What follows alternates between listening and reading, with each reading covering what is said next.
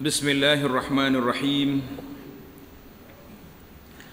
الحمد لله رب العالمين والصلاة والسلام على رسول رب العالمين نبينا وحبيبنا وسيدنا وقدوتنا محمد بن عبد الله وعلى آله وصحبه ومن والاه أما بعد Alhamdulillah pada hari ini satu hari bulan 9 2020 setelah kita merdekanya negara kita sudah 63 tahun kita berdoalah supaya Islam makin kukuh penyebarannya makin hebat di Malaysia setelah kita berusia tua 63 tahun. Jangan tua jadi tak cakap pula kan? Alhamdulillah kita teruskan pengajian kita dalam kitab Al-Mu'inul Mubin. Nama kita Al-Mu'inul Mubin pembantu penolong yang menjelaskan tentang hukum fiqh. Jadi alhamdulillah kitab kita ni simple, ringkas. Fiqh lebih kepada uh, terus kepada dalil dan juga penjelasan daripada para ulama. Kita sudah masuk dalam bab sunat-sunat wudu.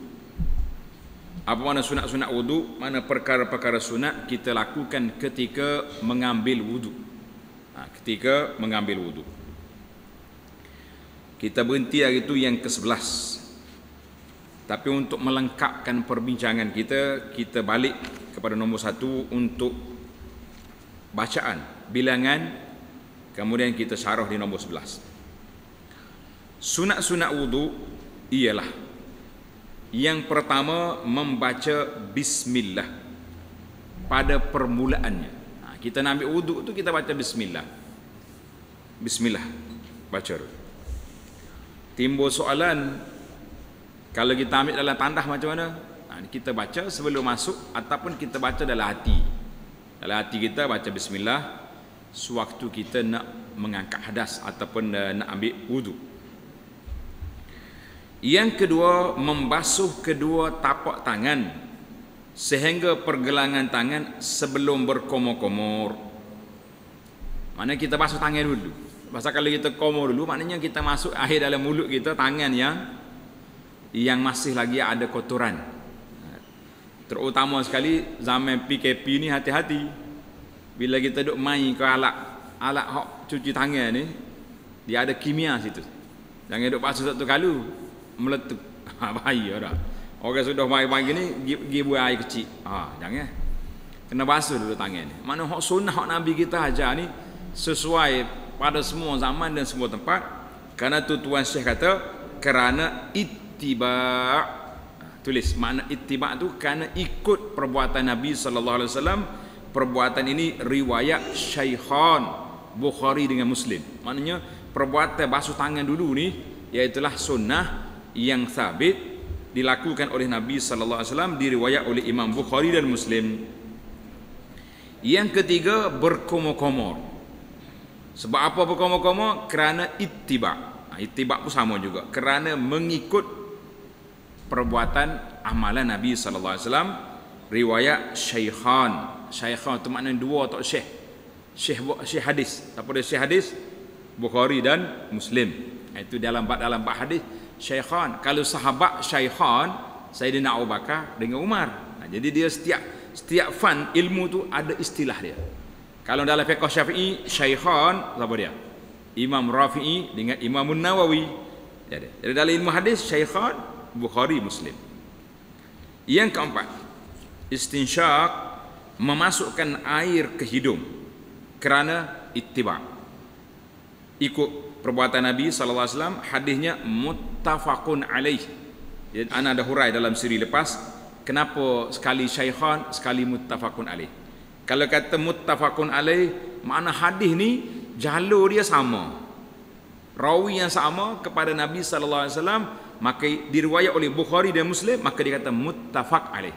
Diittifaq oleh dua imam ni hadis ni. Itu gagah hadis. Kalau Bukhari dengan Bukhari dan Muslim mungkin ada perbezaan dari sudut rawi dia. Ataupun lafaz dia berbeza. Maka dia sebut dua tak syekh. Itu istilah. Yang kelima menghembuskan air daripada hidung. Ha, setelah kita masuk kena hembus balik. Eh, keluar balik. Supaya keluar bakteria apa-apa yang tidur dalam hidung tu biarnya biarnya keluar habis. Dan juga dalam riwayat muslim keluarnya khatayahu dosa-dosa yang sumbat dalam hidung tu yang keenam berlebih-lebih air pada keduanya. Maknanya kita komo kita masuk air dari hidung tu biar biar sungguh atau kan tidak kata pakai halu gitu dak kecuali ketika kita berpuasa. Ha, berpuasa jangan kuat takut batal puasa. Yang ketujuh menyapu sekalian kepala. Ha, kita belajar dalam ruku bawah ni menyapu sebahagian kan? Dalam sunat ni semua kepala. Jadi anak ajar dah gitu kita letak dua tangan kita ni basah letak sapu pergi ke belakang pusing balik ke depan. Ha, itu dia baru. Biar basah-basah semua kepala kita tu. Sapu belakang biar sejuk. Sebab kepala ni pagi sampai gelap duk mikir dia. Ha, kalau orang main komputer dia panggil CPU tu hok duduk gerak kerek-kerek tu. Ha, mana ni? Kita sejukkan dia dengan wudu. Allah. Yang ke-8 menyapu kedua belah telinga Ha, tengok. Kalau kita lama tu dia tu kata duk atas. Tulis ba. Kedua belah. Ha, tidak tidak telah. Kedua belah telinga di dalam dan di luarnya. Ha, dua telinga ini termasuk dalam sunat. Mana? Sapu telinga ni. Yang kesembilan menyelati janggut yang tebal. Mana kalau janggut kita tebal, kita ambil jari yang basah ni, oh, ni main. Itu dia panggil menyulati. Masuk celah-celah. Yang ke-10 menyelati akan anak jarinya. Ha, jadi kalau kita ambil tangan ni kita gosok jari jari tangan, jari kaki gosok. Tuan Syekh ni kata kecuali jari yang bertakuk. Mana kalau jari kita kembar situ tak usah duduk pergi belah. Biar situlah. Tak payah kerak waktu tu. Jangan nanya ke dia. Itu uh, 10 sunat yang telah kita bincangkan. Sambung pada kali ini yang ke-11 mendahulukan kaki yang kanan daripada yang kiri. Ha ini. Sunat yang ke-11 kita basuh hak sebelah kanan dulu. Tangan kanan dulu. Kaki kanan dulu. Kepala. Ha, kepala ke semua sekali ya. Ha, ha. Mana dalil? Kana Nabi sallallahu alaihi wasallam yuhibbut tayamun fi tana'ulihi wa tarajjulihi wa tuhurihi wa fi sya'nihi kulli. Uh, hadis muttafaqun alaih artinya adalah Nabi sallallahu alaihi wasallam suka berkanan-kanan. Maknanya mula kanan dulu. Pada memakai kasutnya. Samalah pakai selipar apa kita pakai kaki kanan dulu. Hmm. dan pada menyikat rambut. Ha, kita nak sikat rambut ambil sikat kita tu buat belah ni dulu. Gini itu mana kanan dulu. Kalau kita pergi ke dagunting beritahu kepada si penggunting kata buat belah ni dulu belah kanan. Ha, itu dia panggil nabi kita suka mula belah kanan. Dan pada bersucinya ha, ketika wuduk pun basuh tangan kanan dulu kaki kanan dulu. Mandi sama. Kita nak jiru air jiru belah kanan dulu. Lepas tu belah kiri. Timbul kan soalan kalau mandi dengan pahit hujan ni macam mana? Ha? hollow belah kanan pusing belah kiri kita main dengan tubuh lah pergerakan kita yang menjadikan kanan atau kiri. Pahit ujian dia di situ dah. Nah. Pakai duduk atas kepala tu dia tu. Jadi kita holo-holo. Nak suruh jadi kanan kiri. Dan segala kelakuannya Nabi SAW suka yang kanan. Belah kanan dulu. Ha. Kalau kita contohnya kita duduk ramai-ramai gini. Kita nak bagi benda. Air ke apa kita kena holo belah kanan dulu. Jangan holo kau ni dulu. Walaupun orang besar sebelah kita ni kiri. Tak? Kau ni. Itu itu dia panggil kaedah. Hadis ini muttafaqun alaih kata Imam Nawawi rahimahullahu taala menurut kaedah syarak ya, kaedah syarak ni satu prinsip asas syaraknya yang berlaku adalah dituntut yakni disunatkan memulakan dengan pihak kanan dalam perkara bab at-takrim. Ha, letak bunyi arak jaga-jaga. Babut takrim iaitu dalam bab benda-benda yang mulia. Kemuliaan hak comel dan al-mutazayyin yakni dalam perkara berhias-hias. Kan sikat rambut ni berhias. Mana kita mula dengan kanan dulu. Kalau kita nak celak mata, celak belah kanan dulu. Jadi. Tetapi di dalam perkara yang sebaliknya, perkara yang tidak takrim dan juga tidak berhias, maka dia hendaklah dengan pihak kiri dulu. Seperti masuk tandas. Masuk tandas kita mula dengan kaki kaki kiri. Kemudian nak basuh najis dengan tangan kiri. Ha, maka tangan kiri ni untuk kegunaan ni. Pasal tu lagi tak bagi benda kau yang tangan kiri. Hala. Tu orang tak ikut etika, SOP tak pakai tu. Ha, itu baru jadi kaki kiri. Kita kena hollow balik kanan juga. Makan tangan kanan. Bahkan Nabi kita larang pula la takulu bisimal jangan minum makan dengan tangan kiri sebab syaitan yang makan tangan kiri. Ha, jangan guna lah.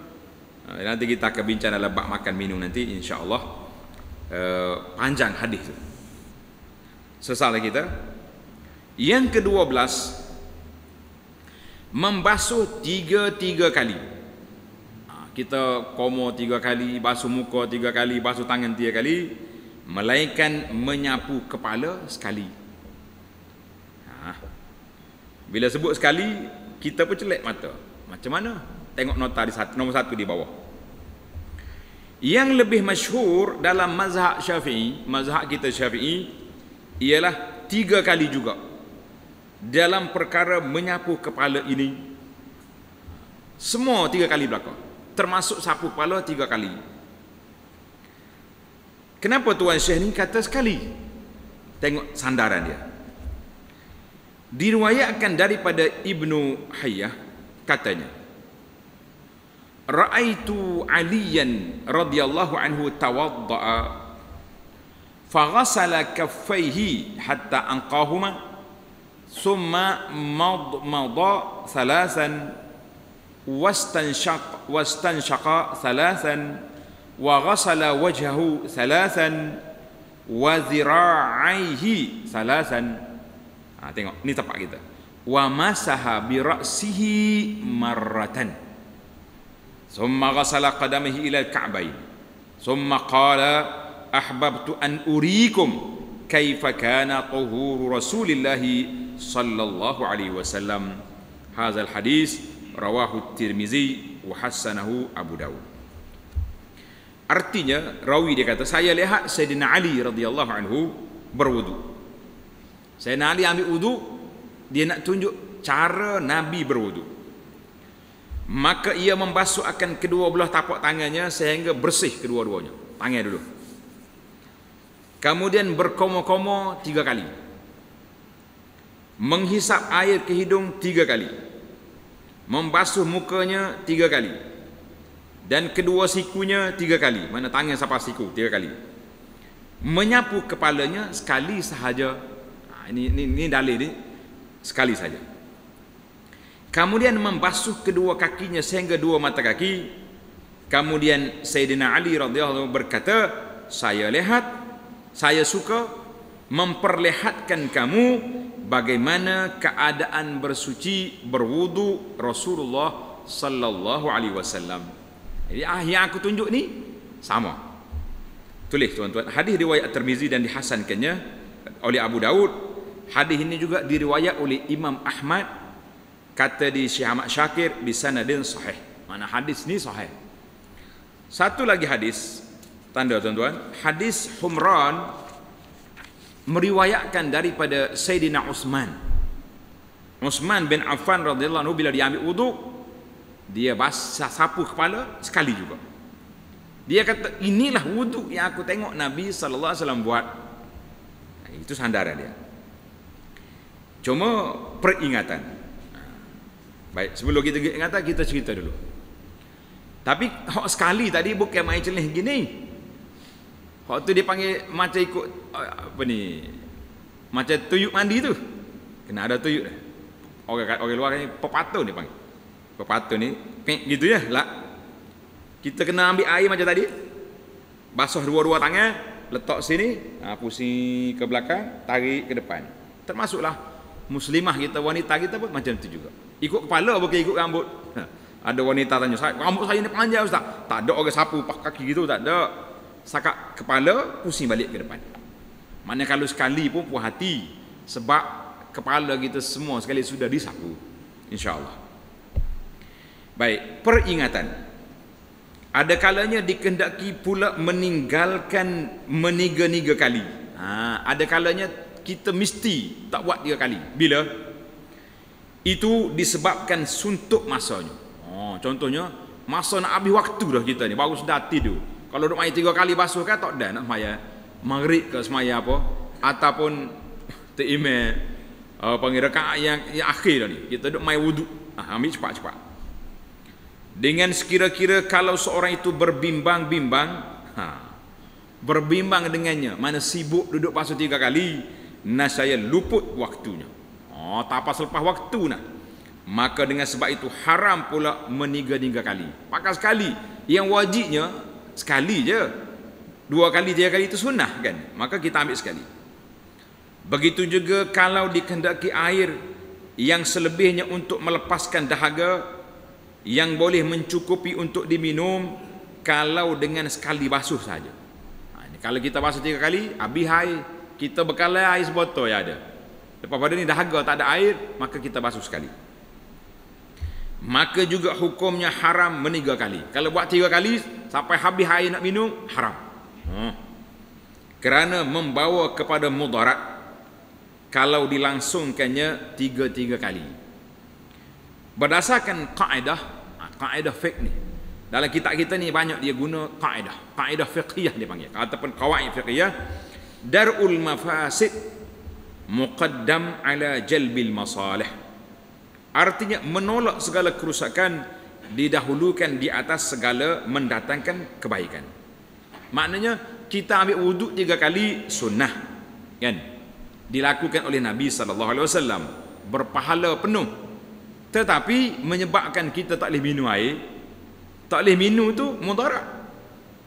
Maka menolak kemudaratan lebih utama daripada menjaga maslahah. Ha, itu kaedah dia. Banyaklah kaedah ni terpakai banyak pada benda-benda. Mana kita kata jalbul apa ni darul mafasid muqaddam. Oh hujah ni kaedah ni yang dipakai oleh apa ni jabatan agama kita apabila mereka tutup masjid zaman PKP mula-mula dulu kan? Buka masjid jarak pula. Sebab dia kata darul mafasid. Maknanya buka solat berjamaah sunnah. Duduk rapat-rapat sunnah. Tetapi dibimbangi mendatangkan mudarat di zaman PKP Covid ni itu dipanggil darul mafasid. Maka kita menolakkan kerosakan itu yang dibimbangi utama daripada kita membawa maslahah itu kaedah kaedah yang dipakai oleh oleh para ulama kita jadi kalau kita belajarlah sekali-sekala eh, kaedah-kaedah ni baru kita rasa oh itu sandaran dia alhamdulillah sunat yang ke-13 berturut-turut di antara sekalian anggota pada bersuci ha, kena turut-turut mana jangan duk basuh muka apa duk buah kali. Eh, tangan tak basuh lagi. Ha, basuh pula. Lepas tu pergi buah pula. Ah, Abah, sapu pala pun. Lah. E, berturut-turut di antara sekalian anggota pada bersuci dengan sekira-kira tiada kering yang pertama sebelum masuk kepada yang kedua. Ha, mana lama main kering ni? Diriwayatkan daripada Anas bin Malik radhiyallahu anhu anna rajulan jaa ila nabi sallallahu alaihi wasallam wa qad tawaddaa wa taraka ala zahri qadamihi misla mawdi'iz zufr faqala lahu sallallahu alaihi wasallam irji fa ahsin wudu'ak. Artinya bahawa seorang laki-laki datang bertemu Nabi sallallahu alaihi wasallam. Dan sungguhnya dia telah berwudu ya dan ditinggalkan atas belakang kakinya seperti tempat kuku. Maknanya ada atas kuku itu tak kena air. Sikitlah kuku ni kan? Maka sabda Nabi sallallahu alaihi wasallam buatlah semula. Dibasuh balik. Dan elokkanlah wudukmu. Ha. Hadis ni riwayat Imam Ahmad dan Abu Daud dengan sanad yang sahih. Kerana sungguhnya disuruh Nabi padanya dengan mengelokkan bukannya disuruhnya mengulang dan mengelokkan itu berhasil dengan mengasingkan membasuh itu anggota Jadi kata di para ulama hadis yang ana tengok dalam hal ini dia kata Nabi kata irji' sama ada kita ambil wuduk semula oleh kerana basuh ni kaki, kaki ni rukun yang terakhir. Ataupun kita pergi basuh situ ya, tempat yang tak kena wuduk, tak kena air. Ha, itu ya. Contohnya kita mari masjid. Tengok maya sunat, ada orang tengok belakang macam ada getah ke ada gam tapak kaki. Eh, sudah maya. Atau tengok kaki awak ada apa? Oi, ada gam. Agak-agaknya gam ni kena bila? Ha, berasa bila? Kalau kita yakin kena masa mari masjid sana ni, lepas ambil wuduk dah tak apa. Tapi tak yakin kan? Maka kita buat dia pergi basuh situ ya itu itu satu tafsiran ada kata dok kena pergi basuh semula sebab kering dah dia punya dia punya apa ni air itu yang pentingnya dia ni termasuk dalam sunnah maknanya bila lawat-lawat kepada sunnah itu makruh. Baik yang ke-14 panjang ni 20 ni kita ni yang ke-14 meninggalkan meminta pertolongan menuangkan air atasnya dengan ketiadaan uzur kalau kita tak ada uzur jangan panggil eh. Mari tolong jeruh aku ni. Nah. Hak sunatnya kita buat sendiri. Kerana sungguhnya begitulah yang lebih banyak yang kebiasaannya Nabi sallallahu alaihi wasallam Nabi kita ambil wuduk sendiri tidak dibantu oleh orang. Kerana yang demikian semata-mata hendak bersenang-senang manakala kita nak senang-senang ya tiada layak bagi perkara ibadat. Oh, nak ibadat ni suruh orang ha kalau tanya ha orang gosok belah ni Allah hari ni pula gosok apa ni nampak relax kan ya. tapi kalau orang uzur kau kena stroke tak nak gerak itu itu di luar kira-kira kata sebahagian ulama pula harus. Boleh je. Suruh orang orang apa ni? Orang jirus tak ada masalah. Sebagaimana diriwayatkan oleh Asy-Syaikhan Imam Bukhari dan Muslim daripada Al-Mughirah bin Syu'bah radhiyallahu anhu annahu kana ma'a Rasulillah sallallahu alaihi wasallam fi safarin. Wa annahu zahaba li hajatin lah.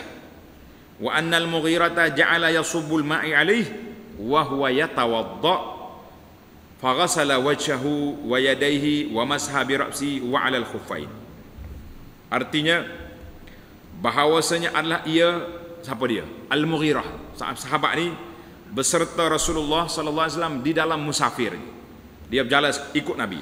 Dalam musafir. Bahawasanya Nabi sallallahu alaihi wasallam telah pergi kerana satu urusannya. Biasanya zahaba li hajat ini pergi buang qada hajat pergi buang hajat dia lah jadi Mughirah ni uh, pembantu Nabi sallallahu alaihi wasallam bila Nabi pergi qada hajat dia pergi cari air letak dekat Nabi untuk Rasulullah guna lepas pada tu dan bahawa Al-Mughirah tolong menuangkan air kepadanya dan beliau sedang berwudu. Mughirah mari air dia dia hola Nabi kita tak ada ambil. Ha. Maka membasuh ia akan mukanya. Dua tangannya dan menyapu kepalanya dan juga di atas kedua kasutnya. Ha ini Nabi kita sapu di atas khuf tulis itu. Kasut di sini dengan makna al-khuffaini stokin dibuat daripada kulit. Ha, stokin ni orang jarang Melayu pakai. Tak tak apa ada sini, tidak dikenali sangat. Sebab kita sini uji-uji apa sedap main air pada main stokin. Betul tak? Tapi negara negara Arab negara orang-orang hok salji tu eh sejuk. Dia pakai khuf. Maka Nabi kita dalam musafir dia sapu atas khuf, sapu je. Pernah mungkin nak buka Nabi kata dak huma, biar biarkan. Sebab aku pakai khuf tadi aku sudah ambil wudu. Rasa kita dah bincang dalam bab khuf dulu kan? Kau tak bincang lagi? Tak bincang lagi akan sampai. Yang penting bagi kitanya Mughirah bantu Nabi wasallam ambil wudu. Ha tapi tetapi tiada sabit daripada Nabi sallallahu alaihi wasallam bahawa baginda pada tiap-tiap kali membasuh anggota wudunya meminta tolong kepada seorang. Mari tolong ambil wudu tak ada. Panjang ni. Kalau kita nak bahas dalam tajuk ni tuan-tuan tengok dalam uh, apa ni syarah ana kepada kitab Bahrul Mazi. Bahrul Mazi ni besar. 20 jilid lebih. Kitab kita ni 3 jilid je kita nak baca pun tak berani. Takut tak ada mati tak ada habis kitab Anda baca di Majid Kuala Kerai, kitab Baharul Mazi, panjang dia syarah dia kata, boleh jadi tempat itu tidak sesuai dengan keadaannya maka Mughirah bantu Nabi SAW untuk ambil wuduk tadi. Ha, sebab tu dia kata tidak menjadi adat kebiasaan setiap kali nak ambil wuduk Nabi SAW minta orang tolong basuh lah. Hari itu. Baik. Kalau kita balik tempat kita hari ni, siapa tolong ambil wuduk ke kita? Siapa dia ambil? Tolong ambil wuduk. Ha? Tak ada, kita tak ambil wuduk. Dah kita pergi hoda. Setengah pahit ni buka kepala pun dah. Pakai pergi hoda agak jadi selalu. Ha. Ini boleh jadi termasuk dalam orang yang bantu ambil wuduk. Alak, bukan orang. Alak bantu ambil wuduk. Kita kata Alhamdulillah. Harus. Ha, tapi eloknya kita ambil wuduk sendiri. Kalau kita mampu. Ini semua termasuk dalam perkara sunat. Perkara yang elok. Yang ke-15 meninggalkan mengibas air daripada anggotanya. Masya Allah. Ha? Jangan lepas kita ambil wuduk jangan duduk kebah. Maknanya nak suruh kering. Kenapa? Kerana seolah-olah seperti hendak berlepas daripada ibadat. Eh, ambil wuduk tu ibadat. Sebab itulah kalau kita ambil wuduk basuh siap-siap, tak usah duduk kesak, tak usah duduk ketak apa. Baca doa dulu. Doa ambil wuduk. Jadi selama sambil-sambil doa tu, air pun kering tangan kita ni biar lekat di tubuh. Sebab ini yang akan memberi cahaya kepada kita. Ghurran muhajjalin kata Nabi SAW min atharil wudu kesan daripada wudu. Ghurran muhajjalin mana? Bercahaya muka kita kaki tangan kita bercahaya di akhirat esok kesan daripada mana? Daripada wudu. Yang ke-16 meninggalkan mengesap mengelap. Hok tadi kita apa ni mengebas.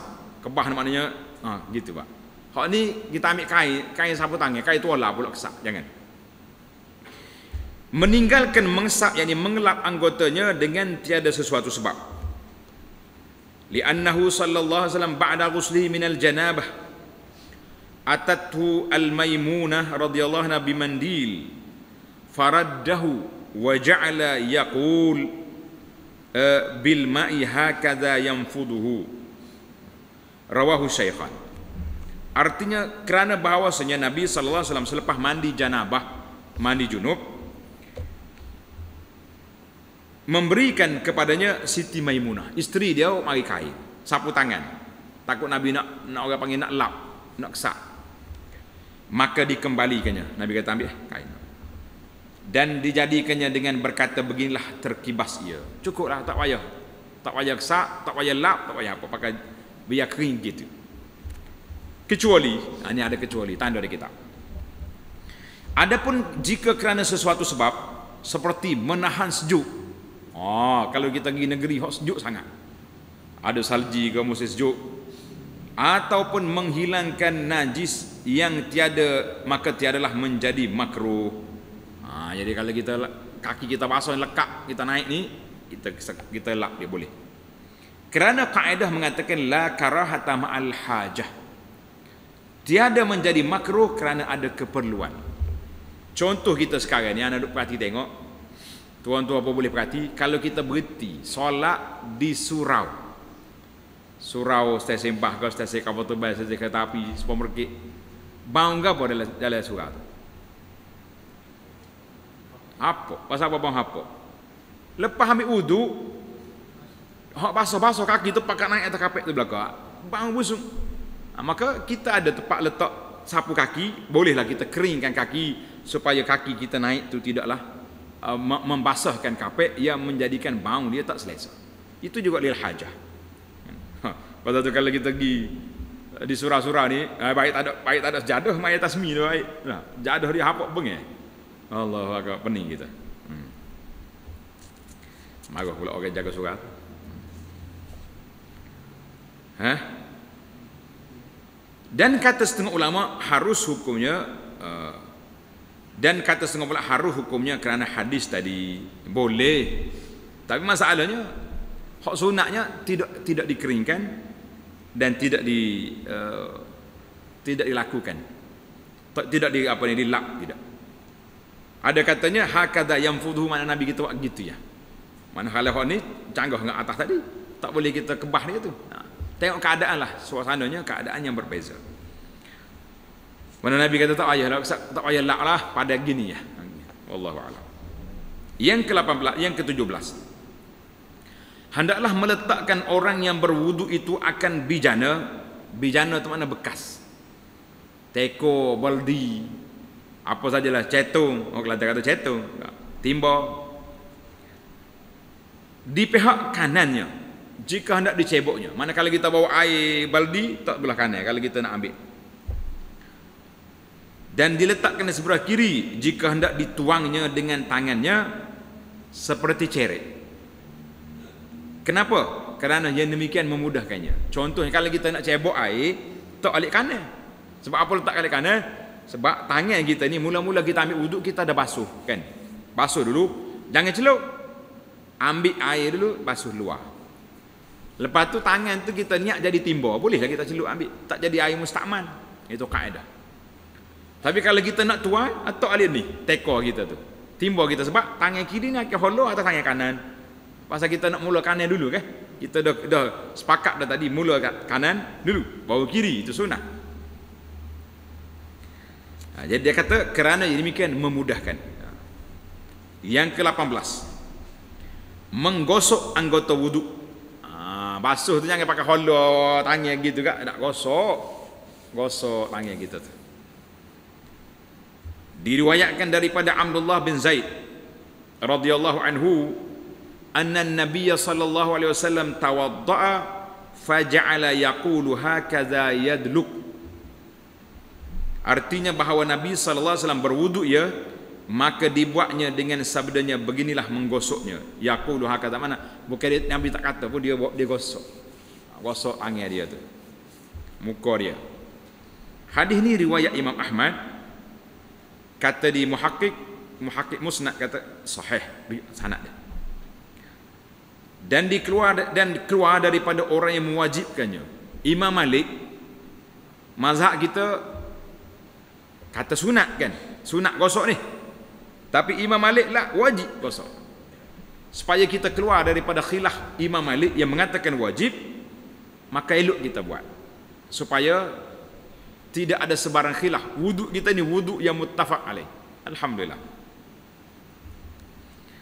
Adab yang ke-19 hendaklah menyempurnakan. Ha menyempurnakan basuh kita tu. Biar sempurna molek jangan duduk main tak terkalu dia panggil yang ke-20 hendaklah bercermat menggunakan air berjimat cermat guna air jangan tak tahulah sampai kita ini berat sikit. Diriwayatkan daripada Anas bin Malik radhiyallahu anhu kana Rasulullah sallallahu alaihi wasallam yatawaddu bil muddi wa yaghtasilu bis sa' ila khamsati amdad. Muttafaqun alaih. Artinya bah adalah Rasulullah sallallahu alaihi wasallam berwudu ia dengan satu cupok. Ha, cupok ni banyak mana? Banyak mana cupok? Eh? cupok tak apa sekali kalau beras lah kalau beras cupok kita 27 dua apa ni 2700 tak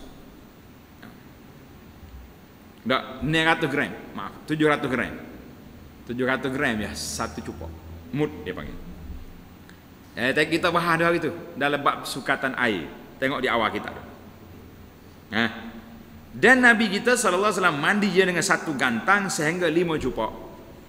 Mana segatan ni pak cupok, ada kalanya lebih cupok lagi. Jadi lima cupok. Tu ya hak Nabi kita mandi. Hei, kita komo saja lima cupok. Kelima kata. Dah buka pahit tu. Allahu akbar. Kalau kita buat pahit kecil-kecil, dia kata masjid ni bakhil. EJK masjid ni kopi. Buat pahit pun kecil buka. Padahalnya kita buka kecil air keluar tu supaya jimat dah kena buat jimat ni tak boleh cuma orang sekarang ni tak mahu dah ambil air dalam koloh ada dalam koloh tu lebih jimat sebenarnya sebab macam-macam lah musim-musim covid ni kau tak mahu dah ha. ana sekali tu semaya di satu masjid ustaz tu mengajar oh dia kata zaman dulu kalau kita ngaji pondok atau ngaji mana kita rasa mesra molek kita kata apa formula dia ni ustaz ni dia kata sebab apa? Ha, sedap ayat dia. Sebab zaman dulu kita ambil wuduk di kolah. Tambah-tambah hak mai subuh tu. Dengan taik matanya dengan apa pakai duk tanya situ belaka. Jadi pertukaran itulah menyebabkan kemesraan. Ya kan? Allah nak suka kita ni. Hmm, mai mai ada ustaz. Baiklah. Yang penting bagi kita nya jangan boroslah penggunaan air. Buka pahit itu slow. Kecil mungkin. Setakat mana yang diperlukan saja. Sebab lama ni. Ha, tu kalau kita ambil wuduk biasa, kalau ada setengah kitab pula ajar setiap anggota wuduk kena baca tu baca ni. Oh, berapa lama nak nak nak nak habiskan wuduk tu. Eh lagi dahsyat. Lagi pembaziran. Baik. Yang ke-21 jangan bercakap-cakap dengan tiada hajat. Ha. Ni kok sampai-sampai wuduk ya ya duduk dah. Buah tak tahu tak tahu apa cerita. Ha, duduk dia ambil wuduk sebab kita ambil wuduk mana kita sudah beribadat tu. Wuduk ni ibadat kan? At-taharatu nisful iman. At-tuhuru nisful iman. Bersuci itu setengah daripada solat. Jangan duk buat. Kerana tiada selayaknya dengan perbuatan ibadat. Orang duk ibadat orang tak buat duk dia dia. Dia kata dengan tiada hajat. Kalau ada hajat tak masalah. Contoh kita nak ambil wuduk pergi jalan tu orang lalu. Pak cik, ke mana jalan nak pergi bandar ni? Hmm, boleh ya ataupun kita tengok ada benda yang berbahaya kan eh jangan lalu kau tu ada lubang boleh ni tak ada tak ada kalau tak ada keperluan jangan cakap yang ke-22 bersugi. Yakni menggosok gigi dengan benda-benda yang kesat ha, benda yang kesat ni apa dia? Batang kayu sugi. Ni dengan berus. Ha, terus berus gigi lah zaman kita hari ni senang ataupun anak jari. Eh kalau tak ada benda-benda kita tanya anak jari kita boleh juga ni? Ya betul kena bersugi biarnya hilang apa-apa yang lekat di apa ni?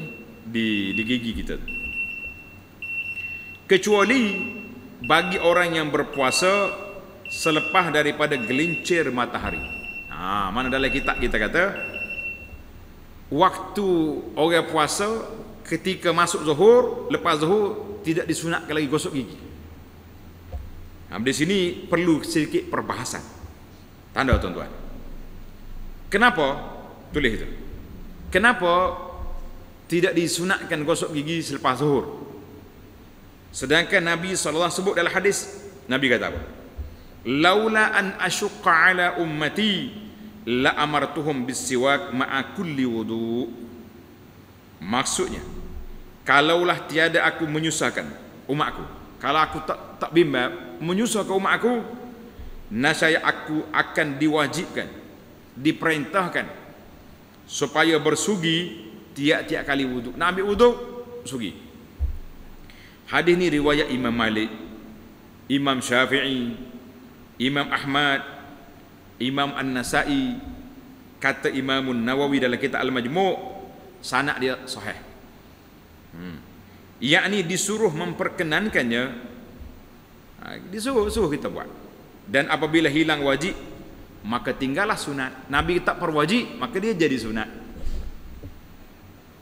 Dan daripada sayyidina ali radhiyallahu anhu annahu da'a bi kuzin min ma fa ghasala wajhahu wa kaffayhi thalasan wa tamadmada thalasan fa adkhala ba'd asabihi fi fihi wa qala hakaza kana wudu'u nabiyillah sallallahu alaihi wasallam rawahu ahmad artinya bahawasanya sayyidina ali radhiyallahu anhu meminta satu timba air maka membasuh ia akan mukanya dan kedua belah tangannya tiga-tiga kali dan berkomo-komo tiga kali kemudian memasukkan ia akan setengah anak jarinya ke dalam mulutnya maknanya dia tak ada kayu sugi dia pakai gonyoh dengan dengan jari dia ya.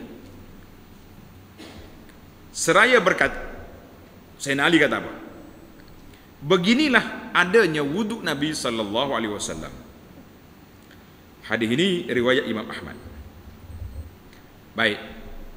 Imam Syafi'i, mazhab Syafi'i yang kata makruh uh, gosok gigi selepas zuhur, kenapa? Ah, tengok.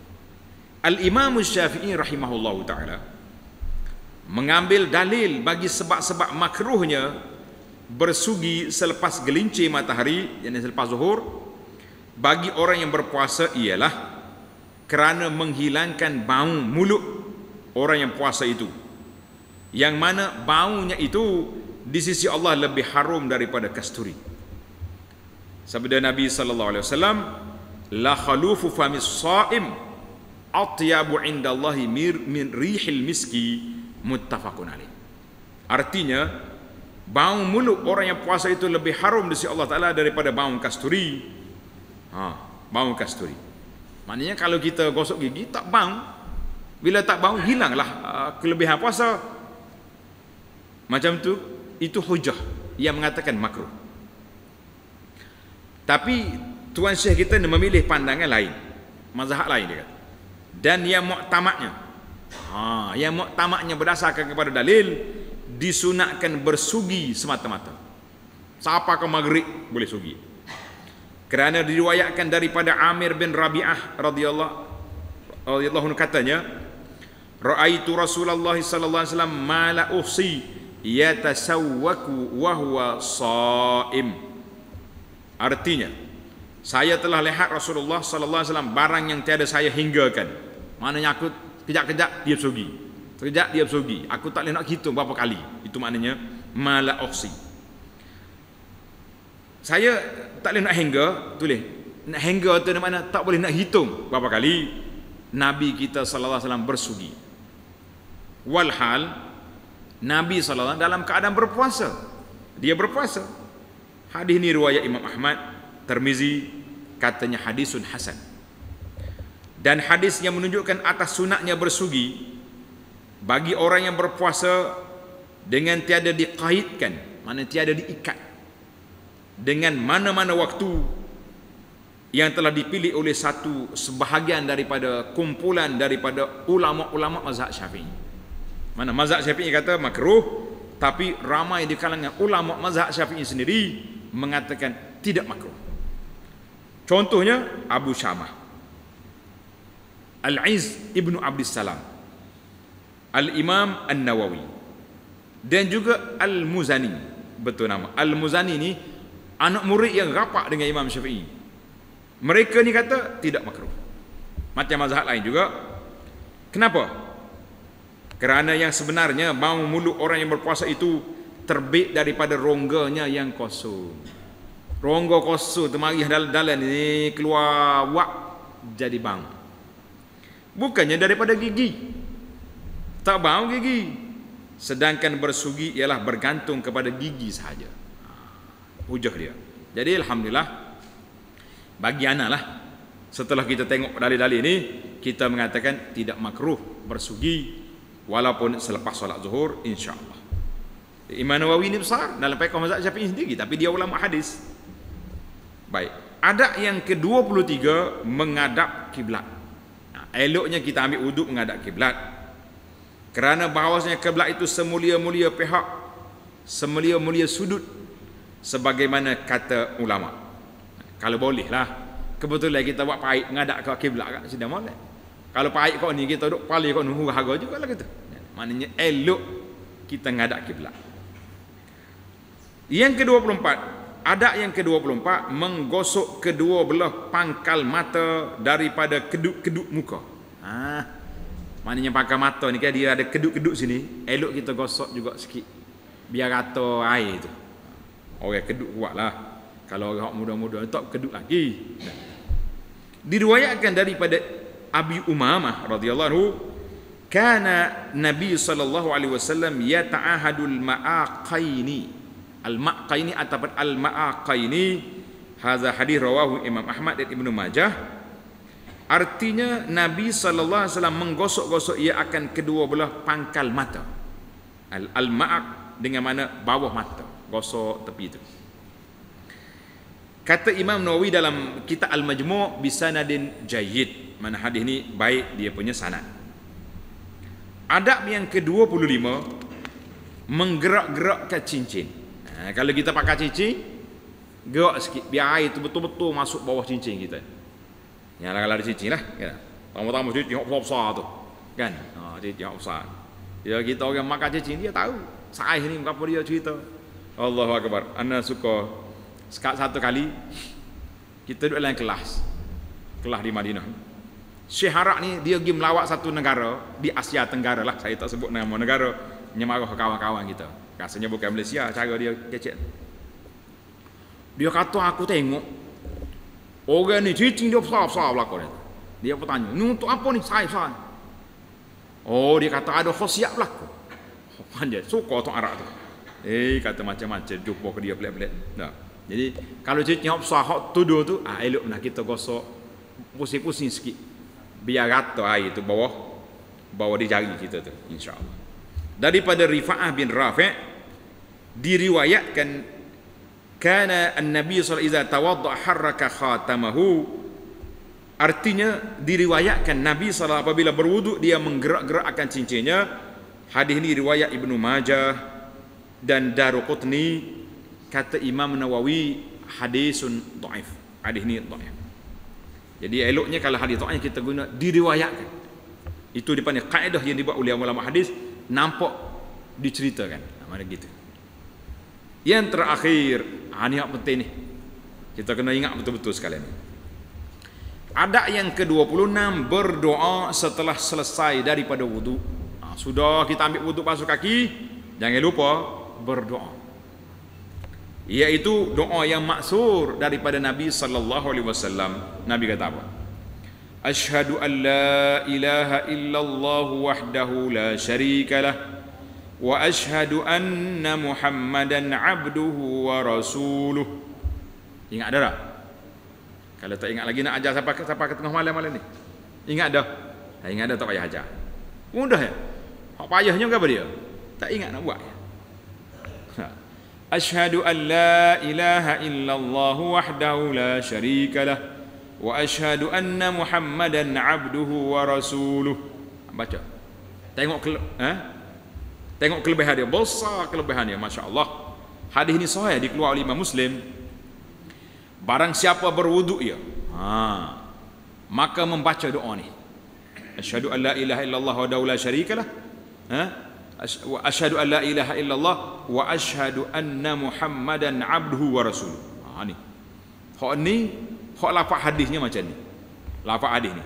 Asyhadu an la ilaha illallah wa ashhadu anna muhammadan abduhu wa rasuluhu hak atas tu ada lafaz lain tapi hak ni hadis muslim ingat ni hak ni pendek lagi ashhadu an la ilaha illallah wa ashhadu anna muhammadan abduhu wa rasuluhu apa kita dapat futihat lahu abwabul jannati samaniyah yadkhulu min ayyiha sya' siapa dia ambil wudu molek-molek jangan duk buat tengah wudu kemudian selesai wuduk dengan sunatnya, dengan perdunya, dengan rukunya, kita baca doa ni.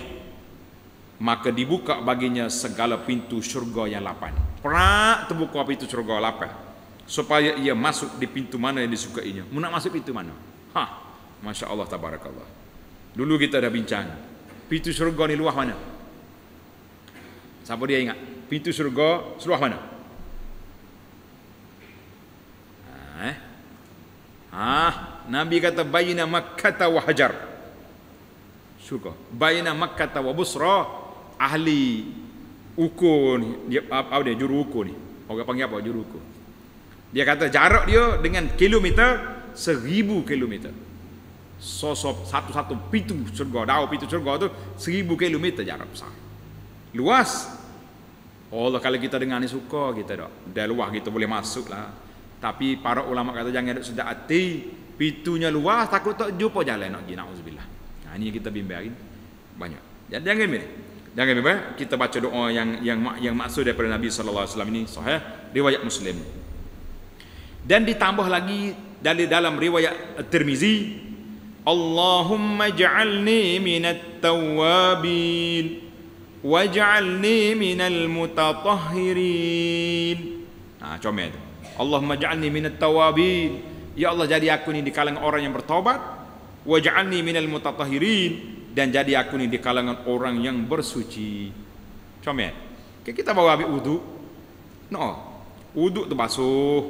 Yang zahirnya doa ni kita nak suci yang batinnya. masya-Allah hadis ni riwayat Imam At-Tirmizi ha? Riwayat Imam At-Tirmizi dengan sanad yang baik. Sahih. Alhamdulillah.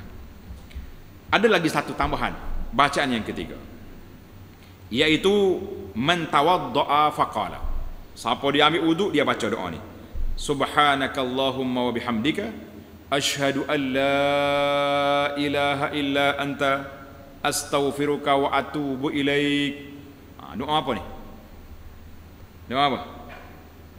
Tak kata ingat. Doa? Ke pengurusi sok mau baca? Kau pengurusi sok ya baca? Ha kafaratul majlis. Bila habis majlis pengurusi kata apa? Kita akhiri majlis kita dengan tasbih kafarah. Ha, tu hak, hak pengurusi hak ngaji.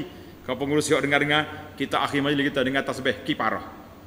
Kiparah mari mana pula? Mai kiparah nah kafaratul majlis. Maknanya nabi sebut siapa dia duduk dalam majlis banyak cakap sana sini maka kita akhiri dengan tasbih kafarah. Tapi tasbih ini dibaca juga selepas wudu. Dalam hadis ini kata man tawaddaa faqal. Siapa dia ambil wudu dia pun baca doa ni. Subhanakallahumma wa hamdika asyhadu an la ilaha illa anta astaghfiruka wa atubu ilaik. Ha kutiba fi raqqin pahala dia ditulis dalam satu bekas summa tubi'a disil dan dia dan tidak dibuka lagi sampai pada hari kiamat. Uh, hadis ini dikeluar oleh Imam Nasai dan juga Al Hakim qala Al Imam Nawawi rahimahullah taala mengatakan hadis ini sahih mauquf. Tulis itu. Sahih mauquf daripada bacaan Abu Sa'id Al Khudri radhiyallahu anhu dhaif marfu' manakala kita kata daripada nabi sanad dia dhaif kalau setakat sahabat Abu Sa'id Khudri itu sahih setakat itu.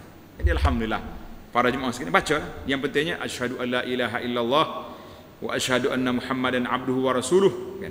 Allahumma ja'alni minat tawabin waj'alni minal mutatahhirin. Subhanakallahumma bihamdika asyhadu an la ilaha illa anta astaghfiruka wa atubu ilaik wa ilai ilaik tidak boleh tutup majlis kita habislah. 26 kelebihan ataupun sunat berwudu. Tambah lagi bila ada sunat ada lawan dia. Apa dia lawan dia? Makruh.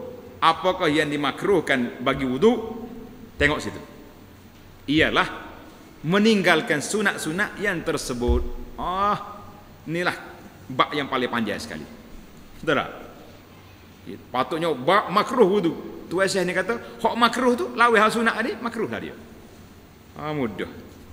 Pasal dia kata apa? Kaedah kata al-amru bisyai'i nahyun an diddihi. Al-amru bisyai' nahyun an diddihi. Apabila disuruh dengan sesuatu itu bererti lawannya ditegah akan sebaliknya. Ha, tapi ada jugalah yang kata ini sunnah kalau tak buat tu tak jadi makruh. Ada juga. Tapi dalam perkara ini oleh kerana perbuatan sana sunnah manakala kita tak buat agak mana kita jadi tak comel lah. Orang panggil makruh. Tamaklah kita insya-Allah kita akan masuk dalam siri yang akan datang perkara-perkara yang membatalkan wudu insyaallah.